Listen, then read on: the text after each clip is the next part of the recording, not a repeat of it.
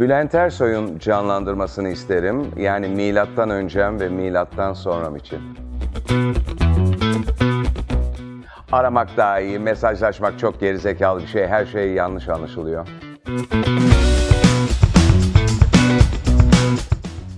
O sevgilim. Tabii hepimiz deprem oldu, şu siyasi olay oldu vesaire. Bunları Twitter'dan takip ediyoruz. Ama kim hangi gerizekalılık içinde onu